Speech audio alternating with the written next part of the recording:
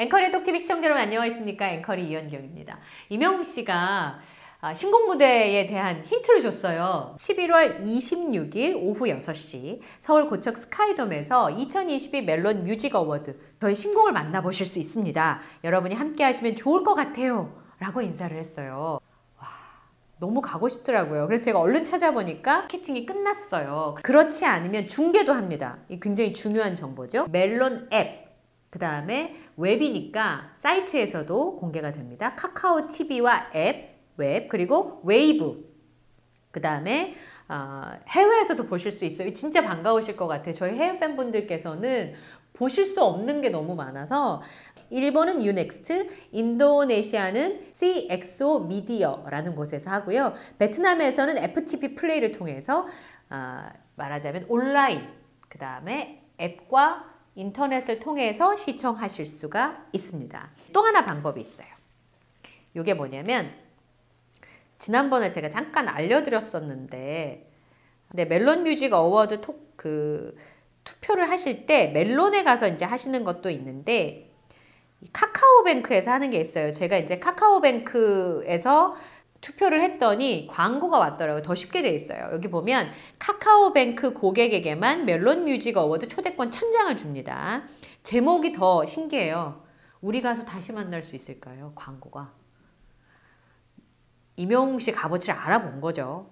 자, 이벤트 그거 클릭을 하면 카카오뱅크와 함께하는 MMA, 마마 아니고요. MMA입니다. 2022가 있어요. 거기 가시면 카카오뱅크 모드스타상이 있습니다. 지금 어, 여기에 투표를 하시고 MMA 초대권을 받으실 수가 있으니까 이렇게 투표를 하시고 이명웅에게 투표를 하시겠습니까? 확인하면 하루에 한 번 투표를 하실 수 있는데요. 여기 투표하면 초대권 응모가 되니까 여기에 당첨되시면 지난번 TMA 시상식 가셨던 것처럼 아, 또 가실 수가 있습니다. 저 광고창 보고 깜짝 놀랐잖아요.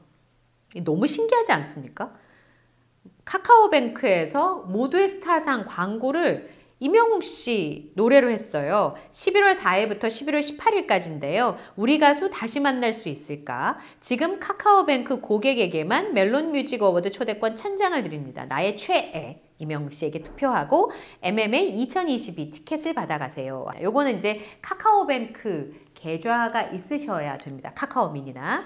이렇게 하시면 이명웅 씨를 만나실 수 있고요.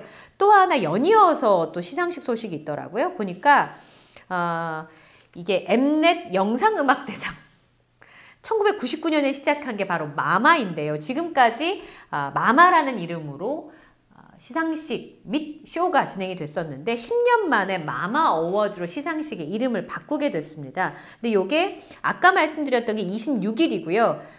달력에 동그라미 해놓으세요. 29일하고 30일 일본 교세라돔 오사카에서 2022 마마 어워즈가 열립니다. 시상식은 전소미 씨랑 박보검 씨가 사회를 보게 되는데 여기에 가수 이명웅 씨가 모습을 드러내게 됩니다. 라인업에 공개가 됐어요. 그래서 이명웅 씨가 이제 마마에서도 아, 새로운 모습을 보여줄 수 있게 되는데 반가운 소식들이 계속 이어지게 됐습니다.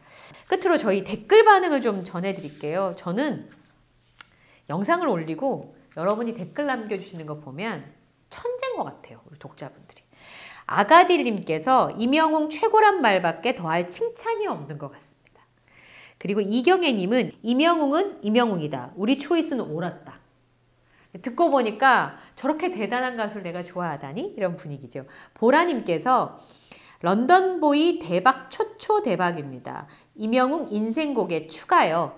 이제 마음이 좀 놓입니다. 그러니까 얼마나 마음을 새로운 모습을 보여주는 게 좋긴 하지만 대중의 반응이 걱정이 되셨던 것 같아요. 이제 마음이 좀 놓입니다. 폴라로이드는 자꾸 들으니까 좋아요.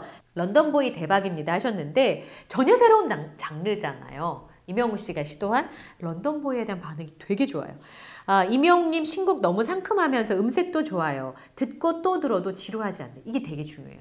제가 그 임영웅 씨 노래도 듣지만 가끔은 다른 가수의 노래를 들어보거든요. 근데 두 번 듣기가 좀 버거운 곡들이 굉장히 많이 있어요. 탑10에 올라가 있다고 하더라도 그런데 임영웅 씨 노래는 특이한 게 같은 곡을 듣고 들어도 지루하지 않다. 오히려 새롭다고 해야 될까요? 여러 가지 생각을 하게 해서 참 좋거든요. 임순희 님이 듣고 또 들어도 지루하지 않네요 해주셨고요. 민씨 님께서는 첫 자작곡이라고 믿을 수 없을 정도네요. 너무 훌륭합니다. 아, 그랬더니 진짜 너무 좋아요. 이렇게 댓글을 달아주셨고요. 정한님은 임영웅 가수 본인이 하고 싶은 음악을 할 수 있고 우린 들을 수 있어 행복합니다. 군수님 같은 스타일이 이렇게 180도 다르게 댓글을 그렇게 쓰셨어요. 이것이 영웅님 본 스타일이 아니었는지 생각해 봅니다. 이런 모습을 볼 수 있어 너무 다행입니다.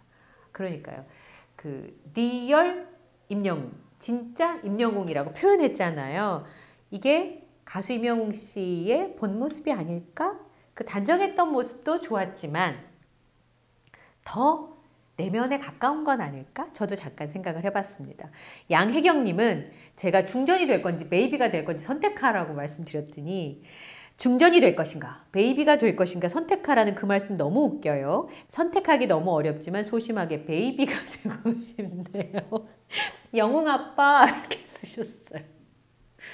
저도 생각해봤는데 중전은 하늘나라를 먼저 갔잖아요. 그러니까 중전이 될 거냐고 물어보면 안 될 것 같더라고요. 제가 생각해보니까.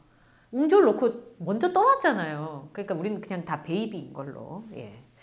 그 다음에 이은희 님이 영상에 고맙다고 하시면서 우리 영웅님은 못하는 게 뭘까요?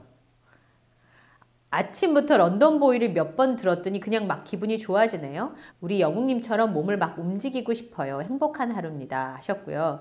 저는 이혜연님의 글을 정말 베스트로 꼽고 싶어요. 아, 맞아.